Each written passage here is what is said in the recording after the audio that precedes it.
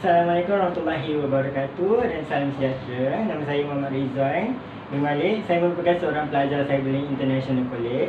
So, uh, hari ini saya akan buat, membuat pembentangan untuk uh, Fundamental of Management.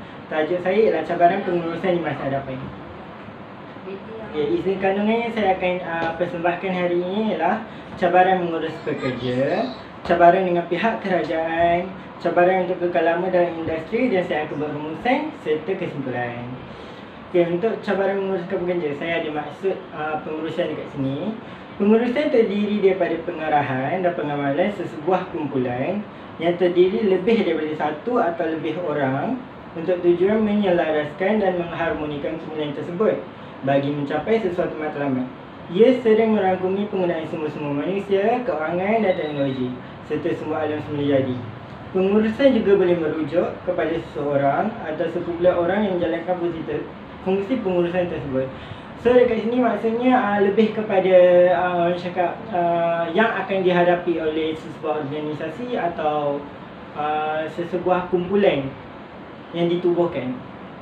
Seterusnya saya akan uh, bentang untuk uh, cabaran menguruskan pekerja. Terdapat beberapa cabaran yang biasa dihadapi oleh pihak pengurusan dalam menguruskan pekerja dari segi sumber manusia. Okay, cabaran yang pertama ialah cabaran dalam membuat padanan individu dengan kerja. So cabaran ni biasa dihadapi, dihadapi oleh uh, line leader. Biasa benda ni berlaku dekat uh, syarikat pengeluaran produk. So line leader akan uh, kebiasaannya akan uh, mendapat cabaran untuk dia letakkan seseorang uh, dia punya staff bawahan tu dekat uh, dekat line mana. Dekat tempat yang bersesuaian dengan dia. So akan menjadi uh, cabaran bagi dia lah. Sebab uh, dia bila dia dapat tahu daripada contohlah dia dapat tahu daripada HR yang uh, pekerja ni boleh buat semua benda. So dia macam uh, dia yakin ke uh, betul ke dia boleh buat semua benda? So bila uh, benda sesuatu situasi tu terjadi uh, menyukarkan lagi dia lah untuk letak dekat uh, seseorang pekerja tu dekat uh, orang cakap lain yang bersesuaian dengan dia punya uh, cara kerja. Sebenarnya kita ada cabaran memperuntukkan masa yang lebih dalam proses temuduga. Ini biasa berlaku pada pihak uh, yang in, yang membuat interview lah, pihak atasan yang biasanya membuat interview uh, berserta pihak pihak HR lah. So uh, biasanya akan menjadi uh, ambil mengambil masa yang lebih lama orang cakap. Uh, sebagai contoh uh, situation bila seseorang uh, itu nak minta kerja uh, dekat certain syarikat atau certain uh, peluang pekerjaan yang dia rasa sesuai dengan dia and then bila di ditanya soal dia punya uh, kelebihan dia, semua benda dia cakap dia boleh buat dia boleh buat itu dia boleh buat ini so uh, akan menyukarkan lagi lah pihak uh, pengurusan interview tu uh, kerana betul ke pihak pengurusan interview tu rasa yang dia berasa sangsi lah orang cakap berasa kurang yakin sebab bila ditanya semua benda dia boleh buat. So dia pun macam betul ke uh, kalau dia ambil ni? Uh, betul ke keputusan yang dia buat ni? So mengambil masa yang agak lama seterusnya ialah cabaran penggunaan sumber tenaga tidak efektif. Sumber tenaga efektif uh, tidak efektif ni biasanya uh, daripada pekerja itu sendiri. Bila pihak pengurusan uh, biasanya akan cakap okey hari ni ada kerja OT ada overtime lebih. So pekerja tu uh, macam oh rasanya tak perlu kot uh, dia nak OT sebab dia cakap saya dibayar gaji macam ni takkan saya nak lebihkan uh, kerja saya kot daripada gaji yang saya dapat. So tidak setimpal lah dia rasa. So dia buat kerja tu kira macam ala kadar ikut dia punya gaji. Dan seterusnya kita ada cabaran kewangan pekerja ni biasa uh, gaji pekerja lah uh, yang majikan uh, bagi. So biasanya dia orang cakap macam tak sesuai dengan uh, pekerja tu. Contoh kalau pekerja tu mempunyai uh, diploma mempunyai degree or master atau PhD so bila dia ada uh, CJ-CJ kelebihan macam tu bila dia diletakkan gaji yang rendah dia rasa macam tak berbala dengan apa yang uh, sepatutnya dia dapat lah dan seterusnya ialah cabaran silap membuat keputusan berkaitan isu-isu pekerja. Ni biasa pihak atasan yang uh, kira salah lah. Macam situasi yang saya berbagi ialah dekat uh, saya tak boleh bagi tahu nama kilangnya. And then benda ni berlaku pada kilang tempat kakak saya bekerja. Uh, pekerja tu mempunyai uh, satu masalah yang tak dapat dielakkan tetapi bila dia sampai dekat tempat kerja uh, bos cakap dia dah dibuang, dah dipecat. Atas sebab yang tak munasabah. And then uh, dia pun uh, dengan rasa uh, sedih and then dia ter, terpaksalah pergi uh, walhal dia merupakan seorang pekerja yang rajin, bekerja uh, dia seorang yang cekap dalam um, apa orang cakap menyelesaikan masalah. And then itulah yang menyebabkan uh, cabaran bagi uh, pengurus sebab kadang-kadang pengurus ni bila dia dah buat satu keputusan tu dia tak tak boleh tarik balik dah. Dia dia rasa macam eh seterusnya dia akan rasa macam kehilangan sebab dia telah buang orang yang sepatutnya dia tak buang. Seterusnya adalah cabaran dengan pihak kerajaan. Cabaran dengan pihak kerajaan ni biasanya berdepan dengan beberapa keadaan mengikut situasi semasa yang berlaku di dalam atau di luar negara. Biasanya uh, cabaran yang pertama kita akan tahu cabaran jatuhnya pasaran saham negara. Biasanya uh, ini disebut sebagai Bursa Malaysia lah uh, yang merupakan kita punya income, in, indeks income kita daripada pelabur-pelabur dalam dan pelabur luar negara. So Bursa Malaysia ni bila jatuh je uh, pasaran saham uh, negara apa orang cakap? Pasaran saham uh, dunia maka jatuhlah juga pasaran saham dalam Malaysia lah Bursa Malaysia ni. Dia akan menjadi punca juga kepada certain uh, organisasi tu atau pengurusan tu dalam uh, menguruskan. Contoh dia boleh boleh bila dia merupakan seorang pelabur yang agak orang cakap agak lama tiba-tiba uh, saham tu jatuh and then boleh menyebabkan uh, orang cakap apa gulung tikar ini sebenarnya cabaran isu politik, politik semasa. Politik ni juga memainkan peranan yang agak penting dalam uh, pengurusan. Tak kira lah di masa hadapan ataupun masa masa sekarang. Bila bergolaknya satu politik, macam orang cakap, bila uh, satu politik ni uh, nak diubah ke politik lain, akan ada masalah.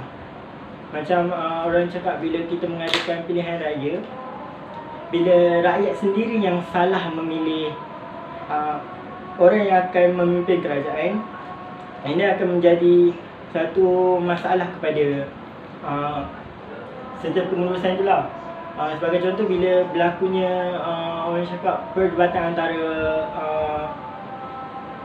orang cakap berlakunya perdebatan antara uh, apa kumpulan-kumpulan politik ni bila satu kumpulan politik ni dah berjaya uh, apa orang cakap berjaya menjadi uh, menjadi kerajaan, memimpin kerajaan So bila dia tak laksanakan uh, tugas dia dengan betul, dengan telus, dengan amanah, jujur And then berlakulah kat sini uh, isu politik kat sini. And then daripada segi-segi ni lah timbulnya masalah yang boleh menyebabkan uh, certain pengurusan dan syarikat tu bermasalah. Itu juga menjadi maaf punca. Tidak kira lah isu, uh, isu apa-apa sekalipun akan menjadi uh, satu benda yang agak orang cakap rumit bagi pihak pengurusan. Kerana ia merupakan jangka masa yang agak panjang sebab biasanya uh, untuk menubuhkan kerajaan ini dia ambil masa 5 tahun. Then seterusnya adalah cabaran global, globalisasi seperti penyakit penyakit import dan ekspor biasanya penyakit ni kita boleh tengok uh, sekarang. Sekarang ni berlakunya penyakit wabak pandemik COVID-19 so bila adanya penyakit baru ni yang merupakan satu penyakit global orang cakap antarabangsa so dia akan menjadi masalah kepada terutamanya dekat Malaysia ni merupakan uh, satu negara yang agak maju kerana kita meng, apa orang cakap mengeksport mengimport dan kita juga ada apa orang cakap uh, kebudayaan kita punya sektor pelancongan. So daripada situlah datangnya income. Bila berlakunya wabak pandemik covid ni so uh, situation kat sini terjejas. Orang tak boleh bekerja.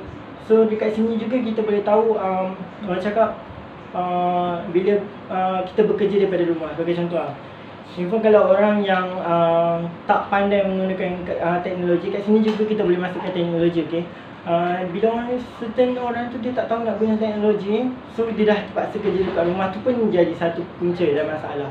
Kerana bila uh, wabak pandemik covid ni melanda so uh, ramai yang sektor terpaksa tutup dia punya tempat kerja. Yang dia kena bekerja daripada rumah. Kerana benda ni wabak penyakit so agak berbahaya bila uh, kita berhadapan dengan orang And then seterusnya adalah import dan export. Import dan export ni juga menjadi cabaran kepada pihak pengurusan. Kerana uh, bila import export ni kita akan mengimport barang daripada luar negara. Bila ada penyakit macam ni lah kita susah nak import barang. Uh, kita susah nak eksport barang buatan Malaysia ni ke luar negara macam kraft tangan. Kita punya uh, bahan-bahan uh, orang cakap makanan. Macam kita akan eksport uh, buah-buahan, sayur-sayuran ke luar negara. So ia akan menjadi uh, terjejas lah bila berlakunya wabak globalisasi ni. Dan seterusnya kita ada cabaran sistem perundangan. Perundangan juga uh, merupakan cabaran kepada uh, pihak pengurusan kerana bila pengurusan yang tidak mempunyai uh, lesen sebuah organisasi itu, organisasi itu tak ada lesen uh, dia mungkin akan ditangkap, ditahan dan dikenakan uh, tindakan undang-undang lah. kerana di Malaysia uh, undang-undang merupakan undang-undang yang tertinggi. Perundangan merupakan undang-undang yang tertinggi di Malaysia. So agak orang cakap uh, tak boleh sesuka hati uh, nak buka kilang, nak buka perniagaan. Kena ada lesen, ada kebenaran So kena ada, contoh kalau yang uh, buka kilang makanan halal So kena ada sijil kebenaran, sijil halal Kena jumpa uh, sektor perniagaan Kena jumpa apa jak apa MAIS So uh, itu juga memainkan uh, peranan yang agak penting yang menjadi cabaran kepada certain uh, pihak pengurusan tu. Seterusnya kita ada cabaran untuk kekalaman dalam industri. Uh, cabaran kekalaman dalam industri ni ialah cabaran untuk uh, pihak industri itu sendiri. Pihak yang membuat uh, certain produk atau menghasilkan uh, sesuatu barangan. So dia kena uh, tahu apa dia cabaran yang uh, dia akan hadapi. Sama ada cabaran jangka masa pendek, cabaran jangka masa panjang Cabaran dia untuk menguruskan semua yang ada berkaitan dengan uh, dia punya industri tersebut.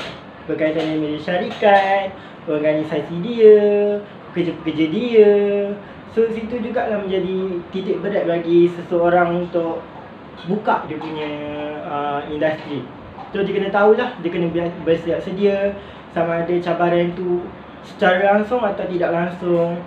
Kerana uh, bila seseorang itu untuk uh, buka uh, sesuatu industri tu atau sesuatu uh, orang cakap perniagaan, dia kena tahu, dia kena bersedia, dia kena get ready semualah. Ini cabaran yang dia akan hadapi lah cabaran membina organisasi syarikat. So kat sini dia bila dia nak buat nak buka uh, syarikat tersebut nak buka industri tersebut dia kena tahu dia kena pilih orang yang betul-betul boleh uh, berada di dalam carta organisasi uh, pengurusan syarikat tersebut kerana orang tu lah juga yang akan uh, menjadi uh, tulang belakang dari syarikat tersebut.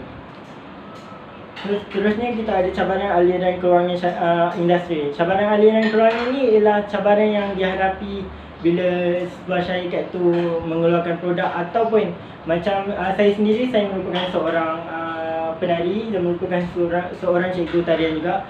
So bila entertainment kami ni nak buka uh, nak buka entertainment so aliran duit yang tu kena stable. Orang cakap kena stable macam uh, saya um, jaga kelas uh, kelas tradisional, kelas dance. So duit daripada income uh, kita orang dapat tu bila ada pelajar yang belajar dengan kami. So entertainment kita orang tu entertainment hiburan. So agak orang cakap aliran tu nak kena kita nak kena kekalkan sebab kita tarik uh, apa orang cakap minat uh, pelajar-pelajar yang nak menari. So kat situ juga uh, agak penting lah cabaran aliran kewangan ni Kita kena stablekan dia Supaya kita tak tak adalah orang cakap bila dah kita dah ada certain problem dengan kewangan so bila tu kita boleh tarik lah income daripada uh, duit yang student uh, bayar untuk uh, duit bulanan kelas tu so kita boleh stablekan so tak adalah nanti kita akan uh, dengar pepatah orang cakap apa gulung tikar. And then seterusnya cabaran persaingan antara industri. So cabaran persaingan ni mungkin lah mungkin industri ni uh, dia ada buka produk makanan. Industri sebelah dia pun ada buka uh, produk makanan. So nak bersaing dengan uh, industri tersebut kita kena orang cakap uh, bersedia lah. Mungkin produk orang ni lagi bagus produk kita mungkin kena perbaiki uh, sebab kita akan mendapat feedback daripada pengguna. So kita kena kekalkan lah. Contoh kalau barang orang ni murah tapi uh, Kualiti dia bagus Mungkinlah pengguna akan pilih dia And then pengguna tak pilih kita. Contoh kalau kita guna barang yang mahal And then uh, kualiti kita bagus Mungkinlah pengguna tu akan macam Okay ni mungkin produk ni Kalau kita beli boleh tahan lama ke? Kalau bukan makanan lah. Macam uh, orang cakap barang elektronik Mungkin uh, lama kita boleh guna. And then seterusnya lah cabaran berurusan dengan pengguna. Um, Macam saya cakap Cabaran pengurusan dengan pengguna ni Bila kita menjual sesuatu produk uh, Kita kena tahu feedback daripada pengguna tersebut. Kita kena tanya lah Feedback uh, Bila awak pakai uh, produk saya Feedback dia macam mana okey ke Sesuai ke dengan awak. So kalau ni dia menjadi cabaran kepada kita Bila kita dapat bad, bad, bad feedback Kita dapat feedback yang tak baik dan kita kena uh, improve lah. Janganlah kita bila dapat uh, orang cakap feedback yang kurang memuaskan tu kita macam orang cakap uh, okay kita tak boleh go lah macam ni kita kena tukar lain. So benda tu akan menjadi satu penghalang lah bagi industri tersebut untuk kekal lama dalam industri. And then seterusnya cabaran penggunaan apa pengurusan risiko industri. Industri juga berisiko, berisiko untuk bankrupt jika ada se, uh, situation yang tak dapat dikawal. Sebagai contoh situation bila uh, saya bagi bila orang cakap pekerja kita mogok so tak ada benda nak buat. So produk tak boleh nak keluar. Tak ada siapa yang buat. Tak ada siapa yang jalan kerja. So kat situ juga boleh uh, mendatangkan orang cakap uh, kegagalan pengurusan tersebut dalam menguruskan pekerja dia. Mungkin ada certain sebab. Ada sebab uh, mungkinlah uh, duit bonus tak dapat uh, cuti tahunan dibekukan uh, mungkinlah ada certain situation yang menyebabkan pekerja tersebut tidak berpuas hati dan uh, menyebabkan kerugian kepada syarikat tersebut. Ini seterusnya cabaran kemampanan dalam industri. Kemampanan ni uh, kiranya uh, mampat tak suatu industri itu untuk kekal lama? Uh, kuat tak dia? Bila dia buka suatu perniagaan tersebut, kuat tak? boleh tak dia rasa dia boleh tak dia lakukan benda tu boleh tak benda tu jadi padat macam apa yang dia nak macam matlamat yang dia nak. Seterusnya ialah cabaran dalam budaya kerja industri. Budaya kerja industri ni juga memainkan peranan yang sangat penting kerana uh, bila budaya kerja orang cakap uh, bila kita pergi kerja mesti kita nak seronok kita nak bukan orang cakap bukanlah main-main tapi situasi tu mengharmonikan. Contoh tak ada uh, masalah sangat. So kerja pun tak stres sangat. Biasanya kerja memang lah kita akan tahu kerja memang stres Macam saya kalau mengajar pelajar pun akan stres juga bila dapat pelajar yang orang cakap Lambat, lambat untuk dapat uh, apa yang kita bagi kat dia. So mungkin akan menjadi stres juga. Tapi uh, budaya kerja tu kita kena tahu budaya kerja dia macam mana. Macam macam ni tak boleh lah orang cakap. Uh, Kalau bos tu um, kita dapat bos yang uh, cakap pihak atasan yang agak cerewet mungkinlah akan menyebabkan situasi orang cakap awkward keko yang tak mesra tak ramah. Tapi daripada sini lah kena uh, pihak pengurusan tu sendiri kena tahu uh, budaya kerja yang betul dia kena buat. So dia tak boleh lah orang cakap uh, masalah yang dia bawa dekat luar tu dia bawa dekat industri yang menyebabkan Ah, pekerja-pekerja kat situ kurang rasa selesa Budaya kerja jadi muram, suram. So dia kena tahu cabaran yang dia akan hadapi. So dia kena kawal emosi. So nak mengharmonikan uh, budaya kerja tu mungkinlah dia kena Sebagai contoh macam cakap uh, Kita dekat Malaysia ni kita ada pelbagai perayaan. Mungkinlah masa perayaan tersebut uh, Kita sambut dengan kita punya pekerja. Seterusnya uh, kita ada cabaran dalam kepimpinan. Cabaran dalam kepimpinan ni ialah pihak pemimpin tu sendiri. Dekat kita tahu dekat dalam industri kita akan ada tiga pemimpin iaitu pengurus atasan, pengurus pertengahan, pengurus uh, bawahan. So tiga-tiga pengurus ni lah memainkan peranan penting untuk mengawal industri tersebut. Uh, mungkin uh, pihak atasan kena jumpa pihak pertengahan untuk bagi tahu apa yang dia nak, apa yang perlu dilakukan. Dan pihak pertengahan pula kena bagi tahu pihak bawahan. So macam ni macam ni lakukan kerja macam ni. Uh, ni pihak atasan tu uh, suruh buat macam ni. And then pihak bawahan pula kenalah uh, arahkan dia punya orang bawahan. So kat situ lah kita tahu dia punya flow one by one daripada pihak atasan, daripada pihak pertengahan, bawahan apa tugas dia dia kena tahu corak kepemimpinan yang betul. Yang seterusnya cabaran dalam pemasaran. Cabaran dalam pemasaran ni lah cabaran kita punya produk dalam pasaran. Tak kira dalam pasaran uh, dalam negara maupun luar negara. Indeks pasaran tu kita kena tahu. Kita kena kekalkan, kita kena uh, tahu, uh, kita kena bersedia ambil risiko uh, untuk kita capai matlamat kita dalam pemasaran produk kita. Mungkin dalam Malaysia kita uh, kita akan uh, apa ekspor kita punya kenderaan, kenderaan Malaysia, Proton. Uh, mungkin kita akan uh, daripada sektor makanan kita akan produk-produk buatan Malaysia, buatan tempatan. So kat situ juga pemasaran uh, menjadi cabaran bila uh, certain situation yang uh, menyebabkan global globalisasi atau mendunia cakap ada masalah contoh jatuhnya uh, wang ringgit, jatuhnya uh, pasaran saham. So kat situ menyebabkan uh, cabaran dalam pemasaran ni menjadi orang cakap turun, turun. Turun mungkinlah uh, turun tidak orang cakap tidak terlalu teruk ter, uh, teruk sangat. Tapi ia akan menyebabkan kerugian untuk uh, bahagian pemasaran lah bahagian yang memasarkan. Akhir sekali saya akan rumuskan dengan membuat kesimpulan. So rumusan yang saya dapat buat di sini ialah rumusan yang dapat dibuat dari poin yang telah saya uh, bentangkan ini uh, industri haruslah mengambil pekerja mengikut keperluan semasa organisasi untuk penggunaan jangka masa pendek maupun jangka masa panjang. Kerana ketiga-tiga poin di atas saling berhubung kait bagi menangani cabaran dalam pengurusan di masa hadapan. Contohnya orang cakap uh, pekerja yang kita nak ambil pekerja tu kita tak boleh lah main pakai ambil okey. Uh, kita perlukan contoh dalam industri tu sebenarnya perlukan uh, seramai contoh lah paling banyak pun 200 pekerja dia. Tapi dia cakap bos dia cakap tak apa awak ambil je 500 ha. So itu menjadi orang cakap Benda tu tak perlu pun sebenarnya. So uh, dia kena tahu situasi semasa ke semasa tu. Dia kena ikut flow dia One by one uh, Supaya uh, cabaran tu uh, Mungkin dia dapat kurangkan lah.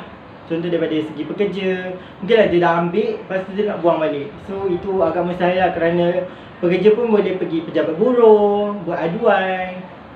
So kat situ agak bahaya jugalah untuk pihak uh, pengurusan tu uh, orang cakap um, main apa cakap main buat keputusan saja main bagi keputusan saja ni kesimpulannya bagi menangani cabaran pengurusan di masa hadapan organisasi atau industri yang ditubuhkan perlu mengetahui visi dan misi industri atau organisasi itu agar matlamat yang telah dirancang dapat dicapai.